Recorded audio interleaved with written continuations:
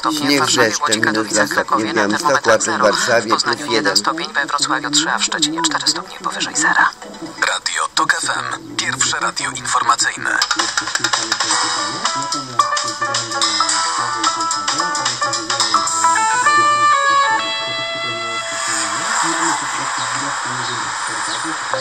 A teraz na poważnie.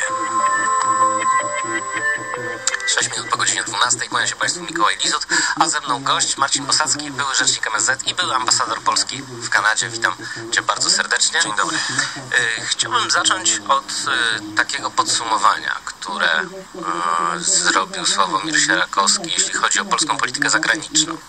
Otóż Sierakowski twierdzi, że jedynym sukcesem, mm, jeśli chodzi o poprawę stosunków bilateralnych Polski, jest poprawa stosunków z Białorusią. Czy zgadzasz się z tą diagnozą?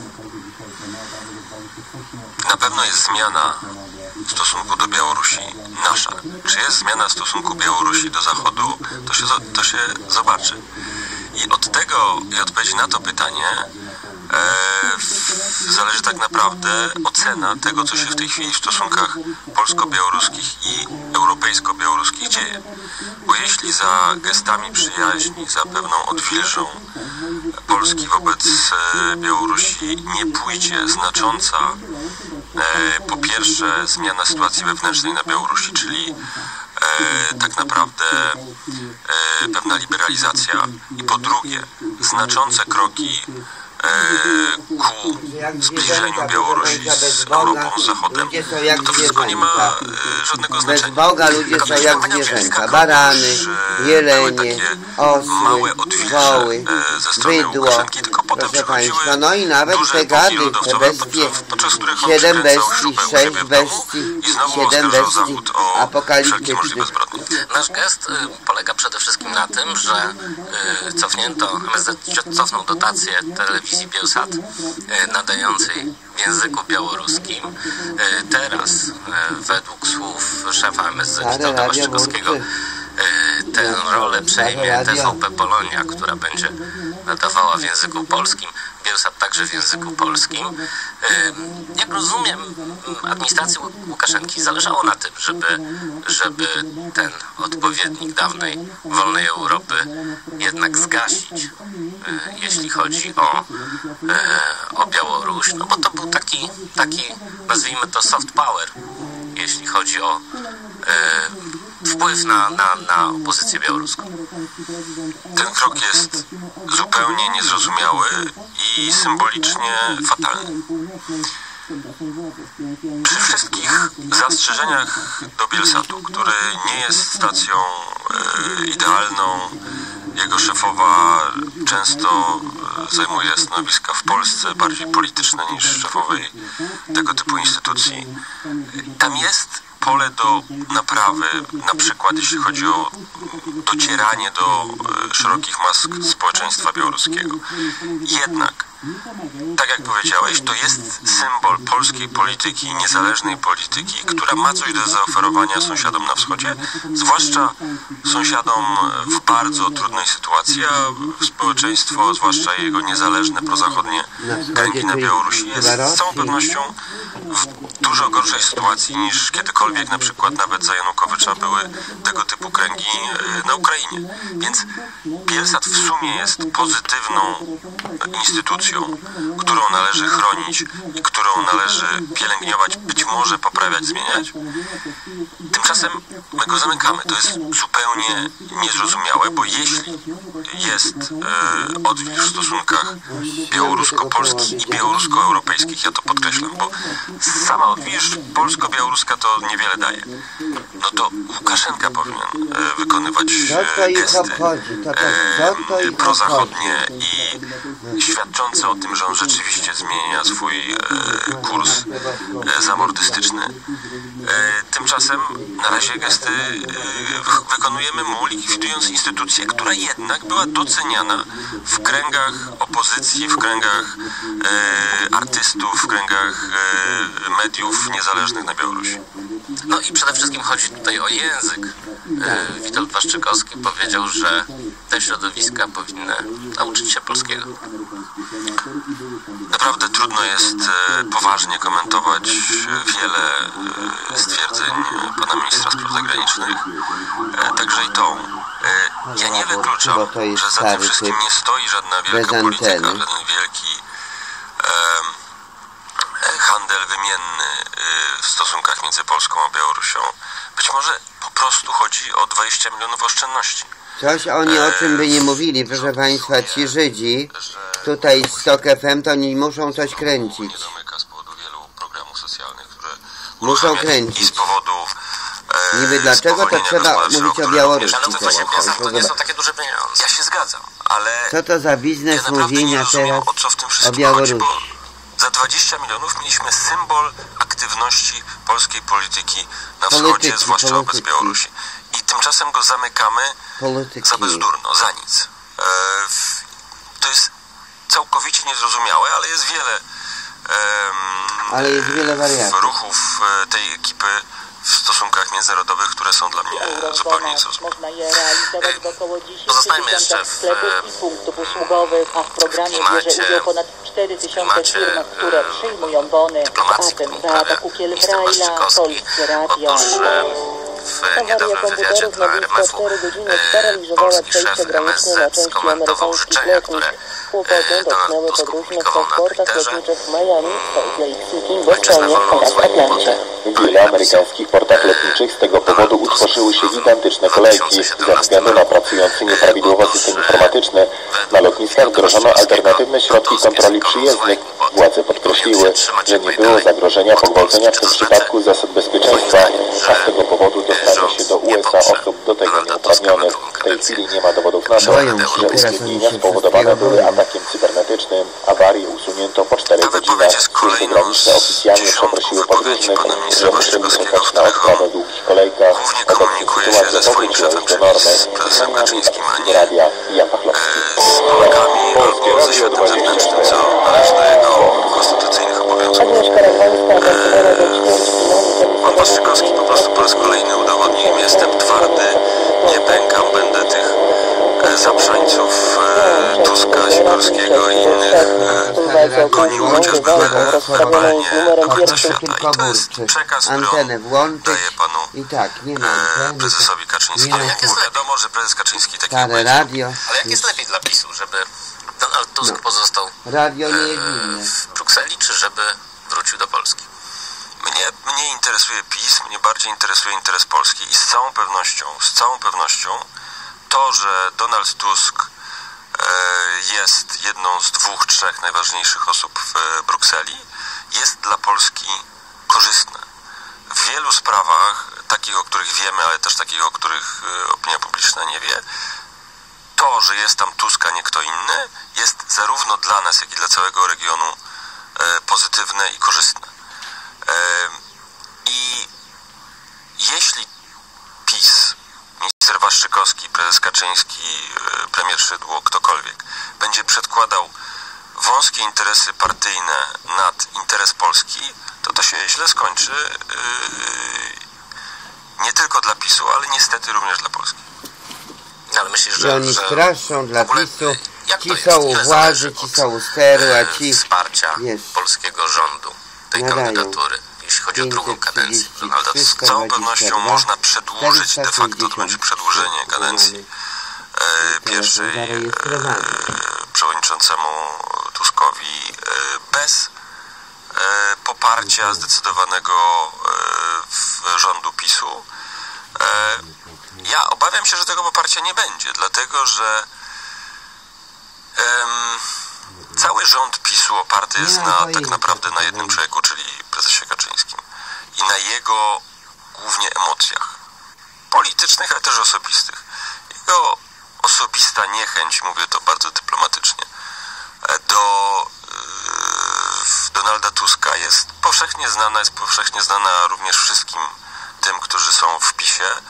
I choćby z czystego e, w lizusostwa tam wygra, obawiam się, opcja niepopierania Tuska, która powtarzam, będzie dla Polski e, rzeczą e, bardzo, bardzo złą, ponieważ nie tylko będzie No oznaczała, będzie nie tylko zło, będzie wojna oznaczała będzie.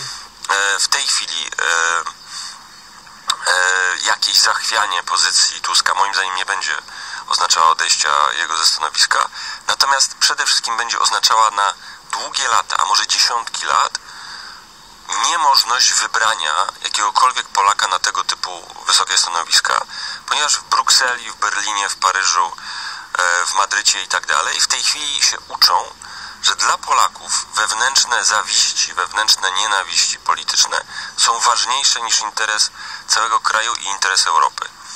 I w związku z tym wszelkie wybieranie czy forsowanie Polaka na wysokie stanowiska będzie zawsze obarczone tym ryzykiem, że następna ekipa go zczyści.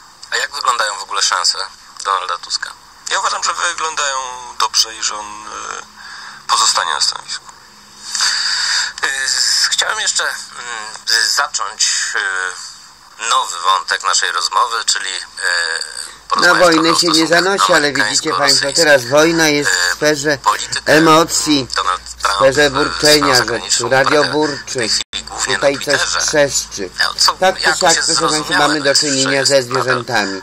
Pokaz e, bestii, prezentacja bestii, pochód bestii, żarłocznych bestii, szkarłatnych, różnych Niestety systemów zwierzęcych, mówimy o zachowaniu, ludzie często komentują, chociaż sami się tak zachowują na temat tych różnych Arabów, nie Arabów, że jak zwierzęta, że jak, Na jak no właśnie bydła, przecież mówi się tutaj o tym, tym tu.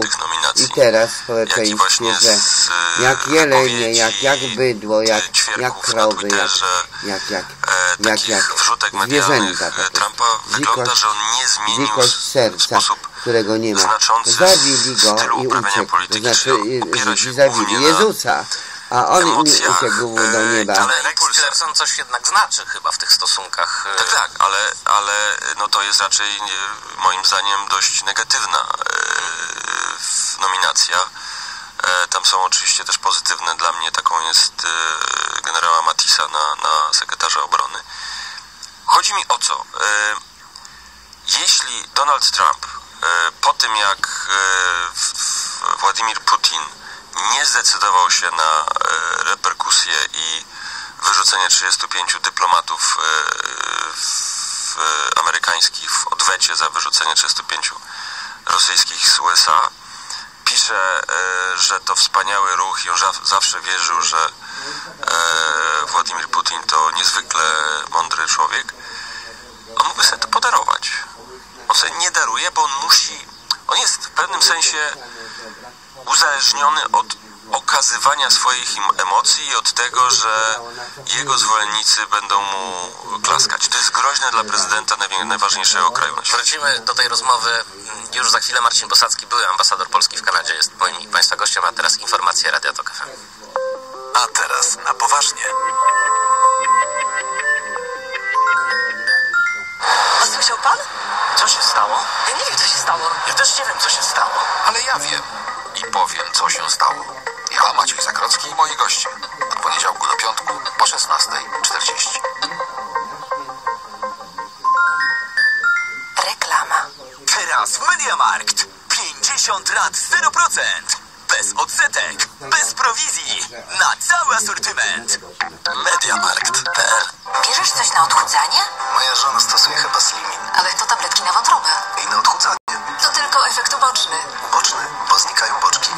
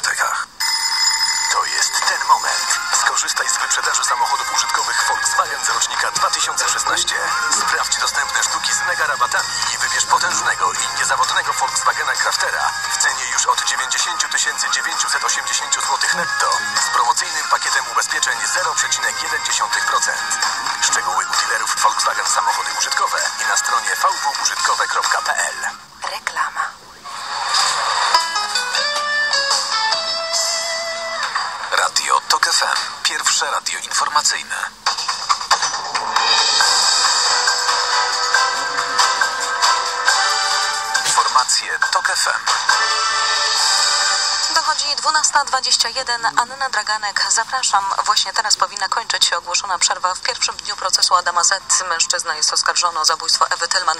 Zdaniem prokuratury w listopadzie 2015 roku zepchnął kobietę ze skarpa, a potem nieprzytomną rzucił ją do rzeki. Adam Z. nie przyznaje się do winy. Przed sądem wyjaśnił, że pamięta tylko urywki wydarzeń z 23 listopada, gdy wracał z Ewą Tylman ze wspólnej imprezy. Mężczyzna poinformował też, że do niekorzystnych dla siebie wyjaśnień zmuszali go policjanci. Senacka Komisja Praw Człowieka, Praworządności i Petycji zajmie się dziś rozpatrzeniem ustawy budżetowej na 2017 rok. Przeciwko prowadzeniu obrad komisji był Jan Rulewski z Platformy Obywatelskiej, który podkreślał, że do tej pory nie ma jasności co do przebiegu głosowania nad poprawkami do budżetu w Sejmie 16 grudnia. Jego wniosek odrzucono. Opozycja, przypomnijmy, twierdzi, że to głosowanie, które odbyło się na sali kolumnowej było nielegalne i wskazuje między innymi na to, że nie ma pewności, że było kworum. Senat ma się zająć ustawą budżetową w przyszłym tygodniu. Słuchasz informacji TOK FM. Kilka godzin trwał protest migrantów w ośrodku koło Wenecji po tym, gdy zmarła tam 25-letnia kobieta z wybrzeża Kości Słoniowej. Zdaniem przebywających w ośrodku ludzi pomoc dla niej wezwano zbyt późno. Włoskie media informują, że lekarze zostali wezwani do ubiegającej się o azyl młodej migrantki, która straciła przytomność dopiero 6 godzin po tym, gdy o sprawie poinformował ośrodek.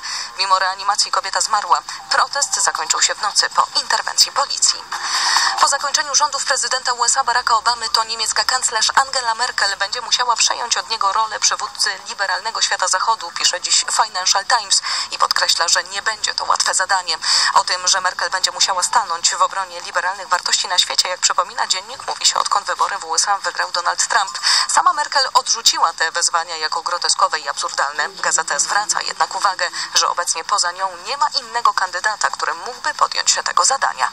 Teraz to wszystko. Kolejne informacje to FM o 12.40.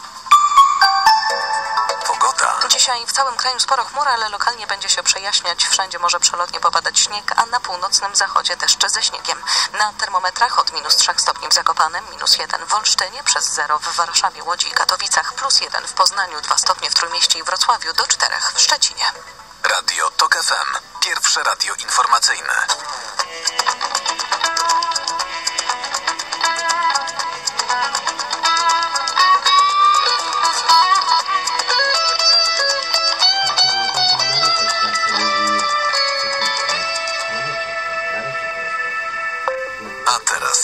Poważnie.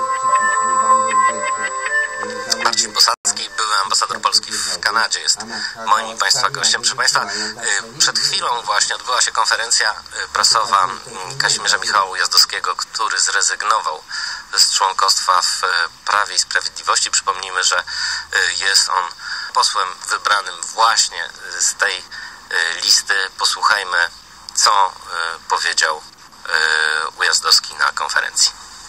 Nie mogę godzić się na y, strategię podjętą przez kierownictwo Prawa i Sprawiedliwości po wyborach, wbrew y, deklaracjom złożonych, złożonym w wyborach. Y, W 2015 roku wyborcy głosując na Prawo i Sprawiedliwość mieli prawo oczekiwać naprawy państwa, sprawiedliwej dystrybucji dóbr, ale także respektu dla praw opozycji i e, dialogu społecznego. Przyjęto strategię odmienną, e, która uniemożliwia realizację wielu dobrych celów politycznych. To jest strategia e, zwiększająca konflikty, e, prowadząca do głębokich podziałów społecznych, e, wyrażająca brak szacunku dla e, instytucji.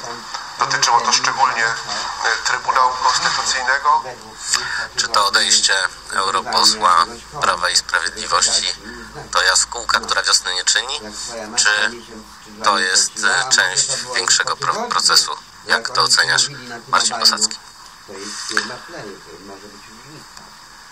Mówiąc wprost, nie wiem, nie jestem pisologiem, e, nie znam się na frakcjach, w odłamach i koteriach w PiSie, natomiast e, mnie ta decyzja posła Ujazdowskiego nie dziwi. Po pierwsze jest to człowiek, który od wielu lat miał tendencję w ramach szerokiego obozu prawicy do działań dość niezależnych i niestandardowych.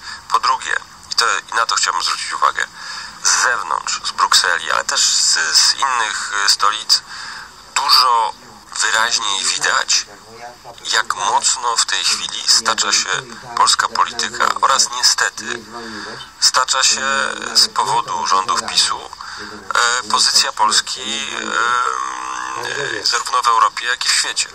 Znaczy, PiSowi się wydaje, że można różne rzeczy robić i mówić na e, użytek e, wewnętrzny, e, prowadzić e, totalną e, nawalankę, ograniczać media, w, ograniczać prawa opozycji albo mówić takie rzeczy, o których e, ty przed chwilą wspomniałeś, jak na przykład e, minister Waszczykowski e, całkowicie dezawuujący przewodniczącego Rady Europejskiej Donalda Tuska i że tego nie słychać na zewnątrz. Otóż słychać. Otóż słychać. I Polska, która znajduje się w permanentnym z powodu działań PiSu kryzysie politycznym, oraz Polska, która nie ma jakichkolwiek pomysłów na swoją obecność w Europie, czy na politykę europejską, czy to na politykę wobec wschodnich sąsiadów, e, zwłaszcza Ukrainy, jest Polską, której e, nie tylko spada znaczenie w Europie, ale również odbudowywanie tego znaczenia będzie trwało niestety latami. I to widzimy my, dyplomaci, czy byli dyplomaci, ale również widzą europosłowie, w tym poseł Ujazdowski. On w końcu powiedział, nie będę w tym brał udziału. Wspomniałeś o Ukrainie. Chciałbym, żebyśmy powrócili do rozmowy o stosunkach e, amerykańsko-rosyjskich, e, a w zasadzie do zapowiedzi tych stosunków, które no, jakoś tam wynikają z tweetów e, prezydenta elekta Donalda Trumpa. No więc Trump na przykład cały czas podkreśla, że rosyjski ślad jest wymysłem demokratów i Obamy, którzy nie potrafią pogodzić się z przegraną e, Hillary Clinton. Chodzi oczywiście o ataki hakerskie na skrzynki mailowe demokratów. I to jest kolejny przykład tego niebezpiecznego procesu, o którym mówię. To znaczy Trump nie potrafi rozdzielić swojego interesu jako polityka, czy w ogóle osoby od interesu państwa. On nie potrafi zrozumieć, że on został prezydentem USA. Nikt mu tego nie odbierze. E, naród go wybrał, chociaż oczywiście wie, tak naprawdę większy, więcej ludzi głosowało na Hillary Clinton. E, ale system jest taki, że naród amerykański wybrał prezydenta, jest nim Donald Trump. Ale jednocześnie Rosja starała się mu w tym zwycięstwie pomóc i w imię powagi państwa amerykańskiego i w imię zdrowia demokracji amerykańskiej on również jako prezydent USA już za dwa tygodnie powinien coś z tym zrobić i twardo e, nie tylko potępiać, ale również walczyć z tego typu praktykami, bo jeśli władze USA nie będą z nimi walczyć, to znajdą się następni chętni do tego typu e, działań. Trump w swojej ogromnej miłości własnej, e, jego styl polityczny to jest, to jest działanie na impulsach i działanie na, na, na no, egocentryzmie, e, nie jest w stanie wznieść się ponad siebie i powiedzieć Putin rzeczywiście, e, mimo że mówią to wszystkie agencje, kilkanaście agencji wywiadowczych USA, e, Putin rzeczywiście pomagał jednej stronie i w, przeprowadzał ataki ha hakerskie na system wyborczy USA, zwłaszcza na Partię Demokratyczną. No, ale gdyby tak oświadczył, to by stawiało pod znakiem zapytania jego zwycięstwo. Nie, no bez przesady. No, w, w, no właśnie to jest to, czego on nie potrafi zrobić. znaczy powiedzieć, jestem prezydentem USA, jestem odpowiedzialny za całość państwa amerykańskiego i nie będą e, inni ktokolwiek to jest, Chińczycy, Rosjanie, w ISIS, ktokolwiek, mieszali w polityce amerykańskiej. Ale właśnie, wspomniałeś o Ukrainie. Mm, jeżeli rzeczywiście Donald Trump jako y, nowy 45. prezydent odwróci mm, wektory w polityce zagranicznej y, z Rosją, to co to oznacza na przykład dla Ukrainy? Czy to oznacza, że Stany Zjednoczone y, uznają oderwanie Krymu? Co to oznacza, jeśli chodzi o, o Donbas i wschodnią Ukrainę? To może to oznaczać. Może oznaczać przede wszystkim. E, Co z sankcjami? Właśnie, może, może przede wszystkim oznaczać odwrócenie sankcji nie tylko tych, które w zeszłym tygodniu ogłosił e, Obama w odpowiedzi na ataki hakerskie Rosji e, przed wyborami, ale również dużo ważniejszych i e, rzeczywiście szkodzących e, interesom e, gospodarki rosyjskiej i, i państwa rosyjskiego sankcji z 2014 roku odpowiedzi na aneksję Krymu i, i działania Rosji na Donbasie. E, jeśli Trump tak zrobi, e, a moim zdaniem wiele na to wskazuje, że tak może być. E, oczywiście w jego, w jego otoczeniu są ludzie, którzy zarówno e, mają jastrzębie, moim zdaniem, absolutnie trzeźwe e, spojrzenie na Rosję, jak i tacy, którzy, e, jak Tiller- Tillerson, e, który był beneficjentem, czy jego firma była beneficjentem ogromnych kontraktów z e, Putin, e, putinowską Rosją. Przypomnijmy, że to E, będzie sekretarz stanu. Dokładnie, szef dyplomacji amerykańskiej, którzy mają moim zdaniem do Rosji stosunek nie tyle łagodny i romantyczny, co po prostu przedkładają interesy poszczególnych firm nad interesy Ameryki, czy górnolotnie mówiąc świata zachodniego. Otóż jeśli oni zwyciężą, a Trump ewidentnie, i to widać w każdym prawie jego wystąpieniu na temat Rosji i Putina, e, będzie się skłaniał do, e, do kolejnego resetu e, w stosunkach amerykańsko-rosyjskich czy amerykańsko-putinowskich, to, to trzeba będzie przypomnieć Ameryce słowa Einsteina, który powiedział, że definicja obłędu jest taka, że robi się wciąż to samo oczekując różnych rezultatów. Otóż Ameryka już robiła reset z Putinem nie raz, ale dwa razy. Na początku prezydentury George'a W. Busha on również spotkał się z Putinem, powiedział, że spojrzał mu głęboko w oczy i że to jest uczciwy człowiek. No ale także A reset, potem za tego Busha mieliśmy na reset- przykład i, e, inwazję części Gruzji przez Rosję. reset tak? nastąpił też e, za prezydentury Baracka Obamy. Dokładnie. I za ten reset Dokładnie, to odpowiedzialna był, jest to był już Hillary drugi Clinton. raz.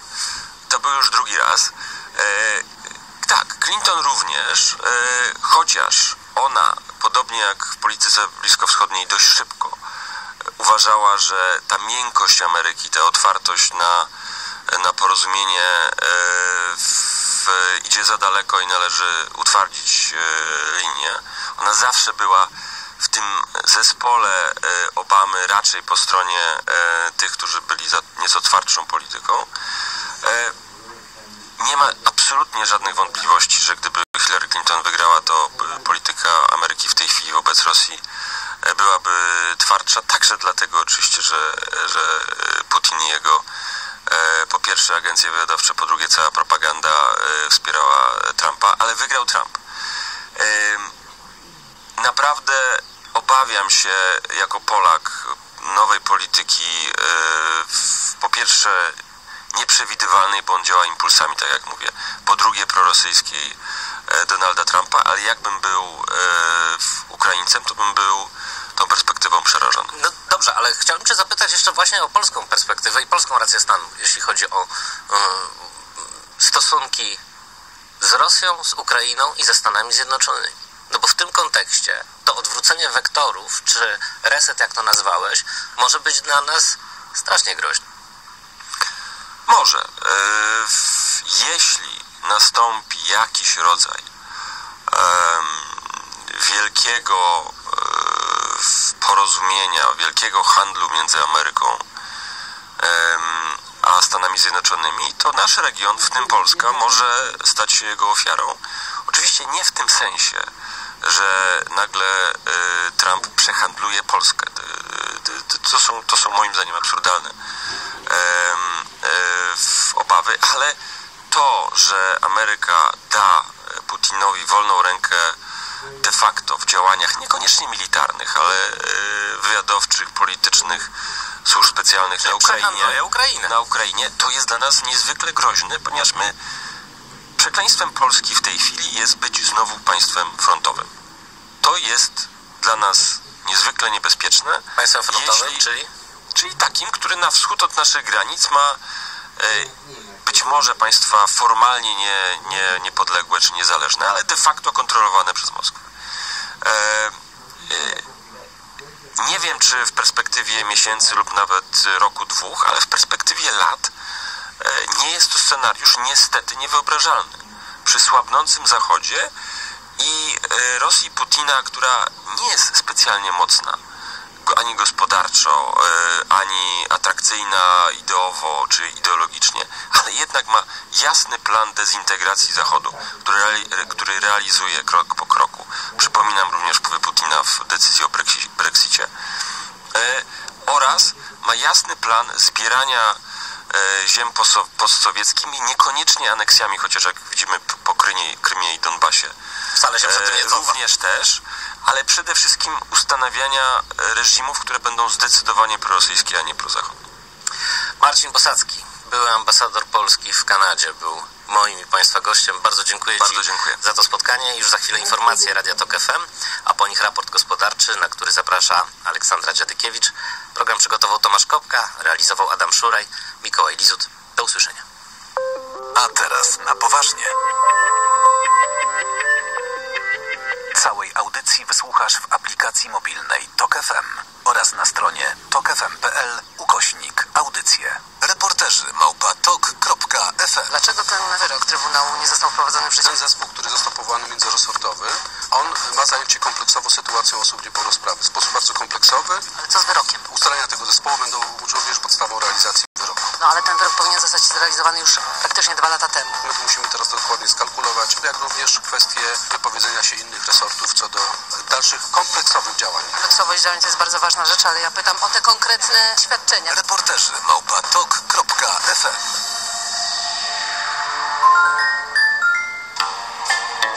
Piotr Kraśko. Bunt. O jakby to było wspaniale, żebyśmy zawsze potrafili odróżnić bycie młodym gniewnym od starym zrzędą. Porozmawiamy też o tym. Czekam na Państwa. Bo każdy widzi świat inaczej. Poranek Radia Tok FM. W środę od 7 do 9. Piotr Kraśko, zapraszam.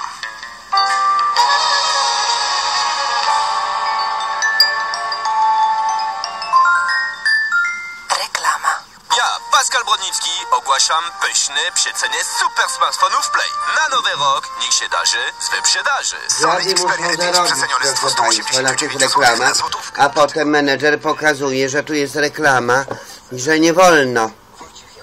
Także najbardziej jest po prostu pokrzywdzona ta pani wiceprezes spółdzielni Sław. Och, jak boli, och, jak boli, bo jej inkwizycja, wiesz, jakieś gwoździe wbija w ręce czy w głowę. Och, jak boli, och, jak boli.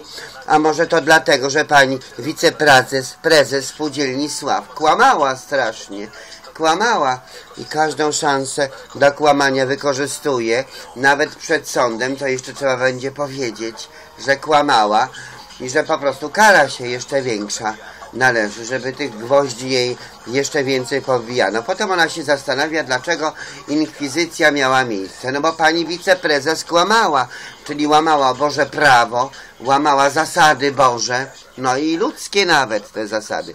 To wszystko jest bardzo ważne, bo żyjemy w świecie ludzkim. Dlaczego panią wiceprezes bolało? Taka staruszka kocmauchowa przyszła do sądu z siatką papierów, chciała chyba to wszystko sądowi przeczytać, a że sąd ma tylko kilka pytań od siebie, ona ma odpowiadać. No, i że yy, na przykład w tym mieszkaniu nigdy nie była, a ona wie z opowieści. Także już zajmowała się poza tym, że kłamała plotkarstwem. Także to plotkarstwo, a to dwie osoby do plotkowania wystarczą, bo dzisiaj mówimy od rana na temat psychologii tłumu. Dlaczego to jest złe? No bo zwykle ludzie, którzy w żadnego Boga Jahwe, w ogóle w Biblię, w Boga nie wierzą, no to wtedy jak ktoś jest ateistą, to sam się nie może do żadnego Boga modlić, to musi się modlić dziad do dziada, gad do gada, żebrak do żebraka, gdy im wszystkim i tak prostym zewsząd nędza. Kiedy czas przyjdzie na ich katolickiego księdza. Rozprawa odbywa się w największej sali poznańskiego sądu. Według śledczych mężczyzna w chwili popełnienia przestępstwa był poczytalny.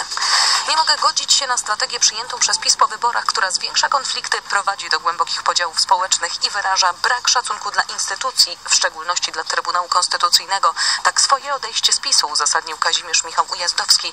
Europoseł poinformował, że po odejściu z partii zachowa niezależność polityczną.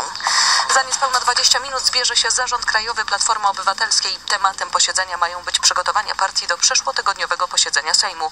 Partia chce omówić, jak będzie wyglądał 10 i 11 stycznia w Sejmie i to, jakie działania podejmą posłowie. Teraz to wszystko. Kolejne informacje to FM o 13. Dziś w całym kraju sporo chmur, ale lokalnie będzie się przejaśniać. Wszędzie może przelotnie popadać śnieg, a na północnym zachodzie także deszcze ze śniegiem. Na termometrach od minus 3 stopni w Zakopanem, 0 w Warszawie, 2 stopnie w Trójmieście, do 4 w Szczecinie. Radio TOK FM. Pierwsze radio informacyjne.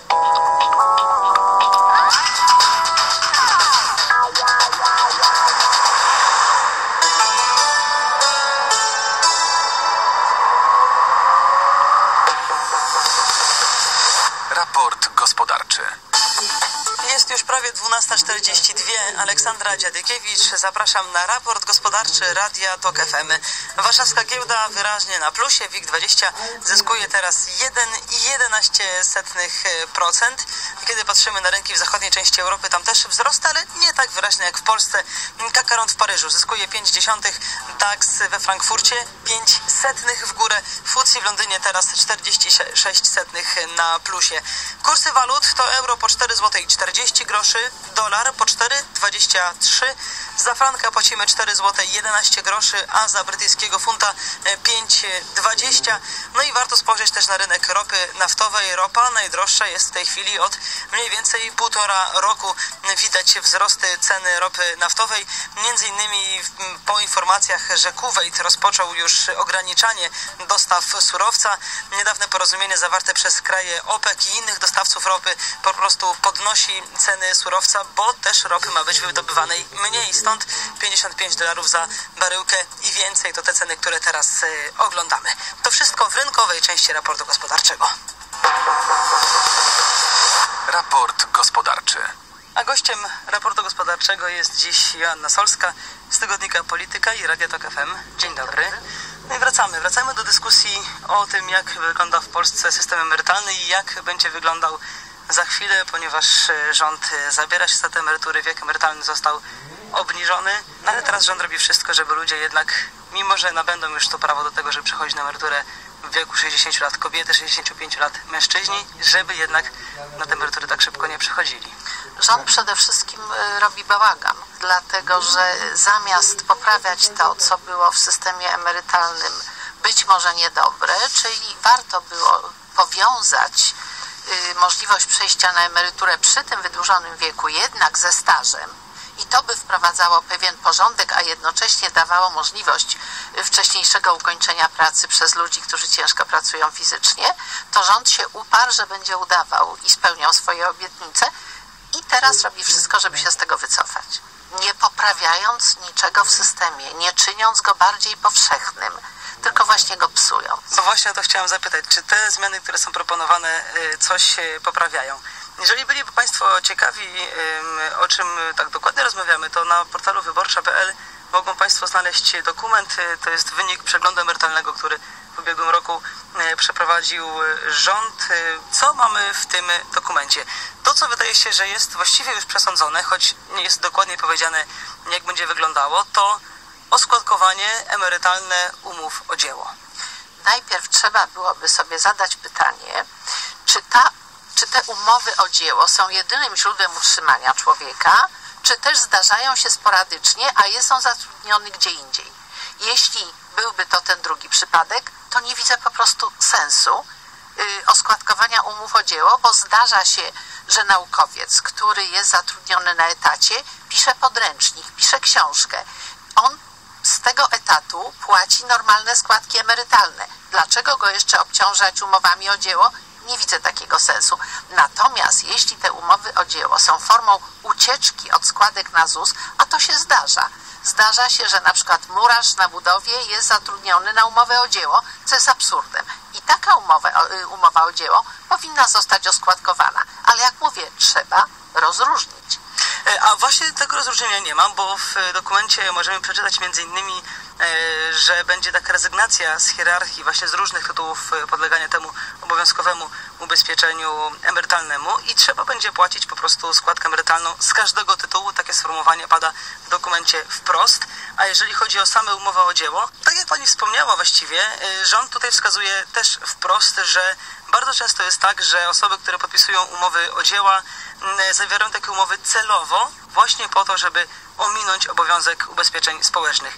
No też mi się nie wydaje, że można tak po prostu łatwo powiedzieć, że ja jako osoba, e, która podpisuje umowę o dzieło, robię to po prostu celowo, bo czasami zmuszamy do tego e, pracodawca, do Tak, ale pracuje. jeśli jest to ten przykład, który podałam, że murarz wykonuje umowę o dzieło, czy kelnerka wykonuje umowę o dzieło, to jest Proszę to absurd. Państwa, zaraz I przełączymy jest tutaj to na Radio Maryja, bo zatrudnienia w danym okresie i ja rozumiem się wtedy, że to, taką możliwość się zamyka.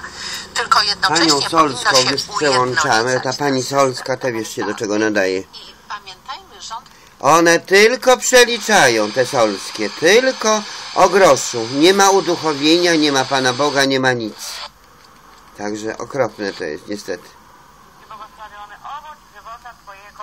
Święta Maryjo, Matko Boża, módl się za Dobrze. nami grzesznymi, Lepsze to. teraz i w godzinę śmierci Napisać naszej. Amen. na początku, wiesz, jest umowa, karta rejestracyjna i nie ma, że na co.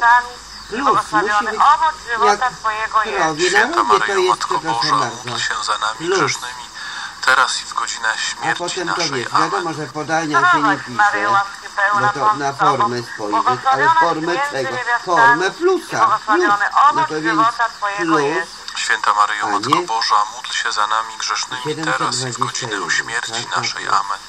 Zdrowaś Maryjo, łaski pełna Pan z Tobą, błogosławionaś Ty między niewiastami No. I błogosławiony No. owoc żywota Twojego jest. Święta Maryjo, Matko Boża, módl się za nami tutaj mamy na grzesznymi, tym plusie. teraz i w godzinę śmierci Tutaj była naszej. karta Amen. plus u Zdrowaś nas. Maryjo, łaski pełna Dawno Pan już. z Tobą, błogosławionaś Ty między niewiastami i błogosławiony owoc żywota Twojego jest. Święta Maryjo, Matko Boża, módl się za nami grzesznymi, teraz i w godzinę śmierci naszej. Amen. Zdrowaś Maryjo, łaski pełna Pan z Tobą, błogosławionaś Ty między niewiastami i błogosławiony owoc żywota Twojego Jezus. Święta Maryjo, Matko Boża, módl się za nami grzesznymi, teraz i w godzinę śmierci naszej. Amen. Zdrowaś Maryjo, łaski pełna Pan z Tobą, błogosławionaś Ty między niewiastami i błogosławiony owoc żywota Twojego A Jezus. na plusie Święta Maryjo, ma, Matko Boża, módl się za nami Na grzesznymi, teraz i w godzinę śmierci naszej. Amen. No nawet chyba nie warto na tego plusa i Także zaraz będzie obudź się. Polskoma.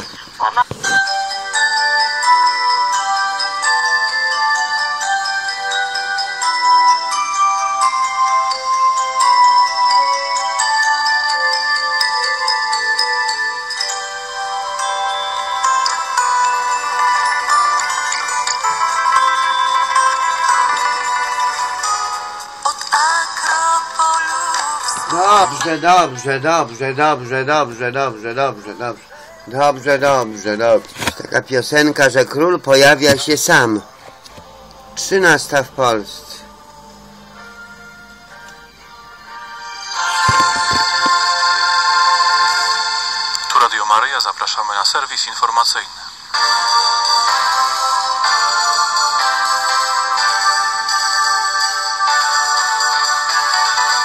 Rekomenduje przeznaczenie 1 czwartej środków pozostałych w OFE na Fundusz Rezerwy Demograficznej, a pozostałych na indywidualne konta emerytalne. Pod koniec ubiegłego roku rząd przyjął w trybie obiegowym dokument dokumenty dotyczące analizy systemu emerytalnego i określenia zasad wypłaty emerytur ze środków zgromadzonych w OFE. Zgodnie z założeniami opracowanymi przez resort rozwoju większość środków miałaby zostać przekazana funduszom inwestycyjnym. Profesor Leokadia Oręziak, ekonomista, pozytywnie ocenia fakt likwidacji OFE. Dodaje jednak, że wszystkie środki powinny trafić do Funduszu Rezerwy Demograficznej. Jeśli wobec tego do ZUS-u przekazane zostanie tylko 25%, a 75% pójdzie w sposób nieodwracalny na rynek finansowy, to tych pieniędzy nigdy już do ZUS-u nie będzie można przekazać. One po prostu na zawsze trafią do banków, firm ubezpieczeniowych i to oznacza, że powstanie w systemie finansów publicznych ogromna luka 100 miliardów, które po prostu w przeciwnym razie, gdyby tego nie zrobiono, no to by można było sukcesywnie wykorzystywać na finansowanie bieżących emerytur. Jak wiemy przecież, że na bieżące emerytury brakuje, trzeba z budżetu dopłacać. W ubiegłym roku resort rodziny i pracy dokonał przeglądu systemu emerytalnego. W pierwotnej wersji projektu informacji resort rodziny proponował, by całość środków z OFE przekazać na Fundusz Rezerwy Demograficznej, a resztę kwoty dopisać do indywidualnych kont w ZUS-ie. W trakcie prac nad dokumentem resorty rozwoju i finansów proponowały obecnie przyjęte rozwiązanie. Prokuratura zwolniła Algierczyka i Marokańczyka zatrzymanych po zabójstwie Polaka przed barem z kebabem w Ełku. Mężczyznom nie przedstawiono żadnych zarzutów, a w trosce o ich bezpieczeństwo objęto ich nadzorem, podała policja. Początkowo w sprawie zabójstwa 21-letniego Daniela zatrzymano czterech mężczyzn pochodzenia arabskiego. Dwóm z nich, Algierczykowi i Tunezyjczykowi, prokuratura przedstawiła zarzut zabójstwa, mówi Agata Kulikowska, rzecznik prasowa ełckiej policji. Dwie osoby w tej sprawie usłyszały prokuratorskie zarzuty. Jest to obywatel Algierii i obywatel Tunezji. Natomiast dwóch mężczyzn, którzy również byli zatrzymani w tej sprawie, a więc obywatel Algierii i Maroka, po przesłuchaniu w charakterze świadków zostali zwolnieni. Im nie przedstawiono zarzutów. O dalszym losie tych osób no, będzie decydował prokurator. Prowadzone jest w tej sprawie śledztwo, które nadzoruje nasza miejscowa prokuratura. W sobotę w wyniku awantury w barze z kebabem doszło do morderstwa 21-letniego Polaka. Prokuratura postawiła zarzuty zabójstwa Algierczykowi, właścicielowi baru oraz pracującemu w lokalu Tunezyjczykowi. W niedzielę przed barem odbyły się gwałtowne protesty przy sprzeciwu wobec zabójstwa. Policja zatrzymała osoby agresywnie się zachowujące. Prokuratura zapowiedziała wykonanie czynności procesowych z, udziałem 28 zatrzymanych w niedzielnych burdach. Tego dnia doszło również do próby podpalenia mieszkania, które wynajmował Algierczyk. Sprawę wyjaśnia policja. Statystyki dotyczące występowania pożarów w 2016 roku są najlepsze od dekady, powiedział generał Leszek Suski, komendant główny Państwowej Straży Pożarnej. W rozmowach niedokończonych na antenie Radia Maryja i telewizji Trwam mówił o roli Straży Pożarnej i podsumował miniony rok.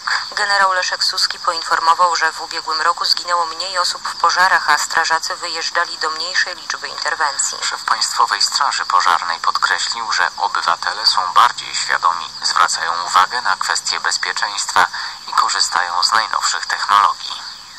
W ubiegłym roku mieliśmy niecałe 126 tysięcy pożarów. Jest to mniej o 50, blisko 3 tysiące razy niż w roku ubiegłym. Także to jest po raz pierwszy od 10 lat mieliśmy tak niską ilość zdarzeń związanych z pożarami. Wszystkich zdarzeń łącznie z pożarami jest na ogół około 450-480 tysięcy w skali roku. Pożary stanowią taką proporcję w stosunku do miejscowych zagrożeń 2 do 3. Miejscowe zagrożenia to są różne inne sytuacje, jak wypadki drogowe. Niestety tutaj nie zaznaczyliśmy spadku Generał Leszek Suski podkreślił, że dużym wyzwaniem dla Straży Pożarnej w ubiegłym roku było zabezpieczenie Światowych Dni Młodzieży odbywających się w całej Polsce. Na polską ochronę przeciwpożarową składają się Państwowa Straż Pożarna oraz Ochotnicza Straż Pożarna. W PSP pracuje ponad 30 tysięcy osób, a OSP około 700 tysięcy. A przed nami jeszcze informacje z zagranicy.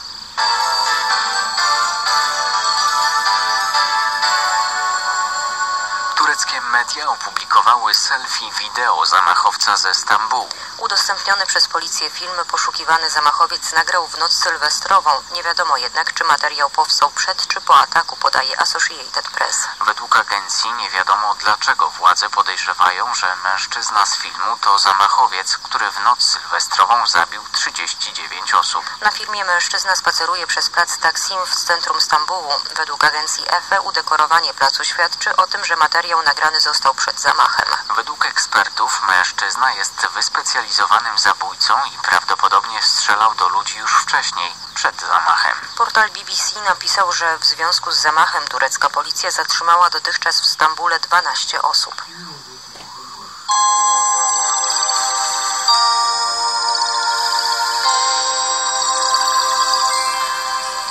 Zachmurzenie duże z większymi przejaśnieniami, miejscami śnieg. Po południu na północnym zachodzie i zachodzie deszcz i deszcz ze śniegiem. Temperatura maksymalna od minus 2 stopni na wschodzie do zera w centrum i 4 na północnym zachodzie. W Dolinach Karpackich minus 5 stopni. Wiatr umiarkowany, porywisty. Po południu na zachodzie i północy okresami dość silny, a na wybrzeżu do 70 km na godzinę. Zachodni i południowo-zachodni.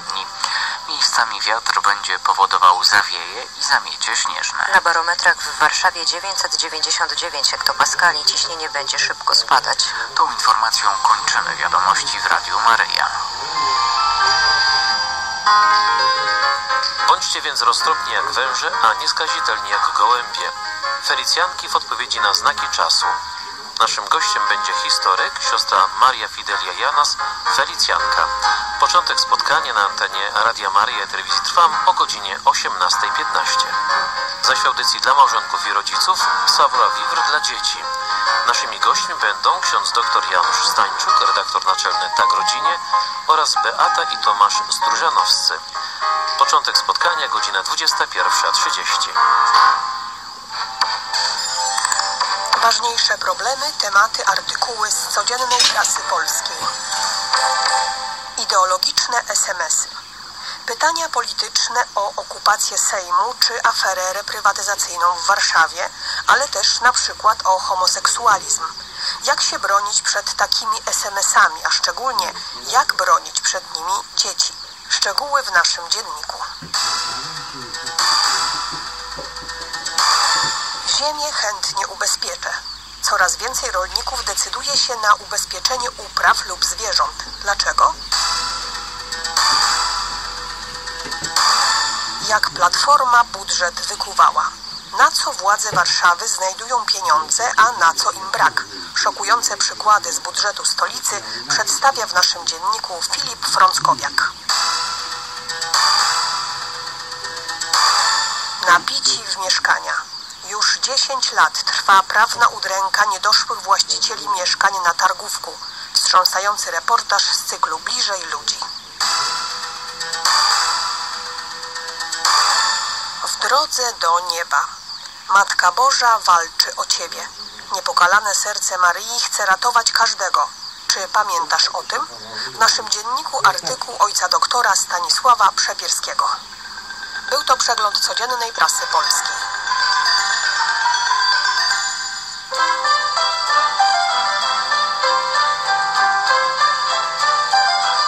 Uwaga, zapraszamy na najbliższe sympozjum w styczniu, 25 stycznia 2017 roku. Sympozjum z okazji patrona dziennikarzy, świętego Franciszka Salezego. Sympozjum pod tytułem Oblicza dumy Polaków. Wykłady wygłoszą współorganizator jak zawsze ksiądz biskup Adam Lepa, najwybitniejszy Kościele Polskim. specjalista od mediów, temat Duma z bycia Polakiem w ujęciu świętego Jana Pawła II. Następny wykład. Wicepremier, minister kultury i dziedzictwa narodowego, pan profesor Piotr Gliński. Temat? Poczucie dumy z kultury i dziedzictwa narodowego. Minister obrony narodowej pan Antoni Macierewicz. Poczucie dumy z militarnych dokonań Polaków. Prezes Instytutu Pamięci Narodowej pan Jarosław Szarek duma z poczucia polskości i pan redaktor Witold Gadowski poczucie dumy z wierności prawdzie. Informacje i zapisy w Toruniu w kampusie akademickim Wyższej Szkoły Kultury Społecznej i Medialnej przy tak zwanym porcie drzewnym. Telefon, informacje, zgłoszenia 56 650 40 00. Powtarzam 56 650 40 00. A więc zapraszamy na to sympozjum Oblicza Dumy Polaków na 25 stycznia na godzinę 11 do auli Wyższej Szkoły Kultury Społecznej i Medialnej przy tak zwanym porcie drzewnym. Bóg zapłać.